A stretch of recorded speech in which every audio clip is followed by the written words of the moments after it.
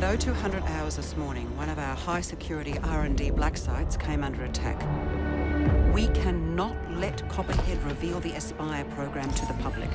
You have authorization to use any force necessary to stop them. Remember, keep quiet and stay out of sight.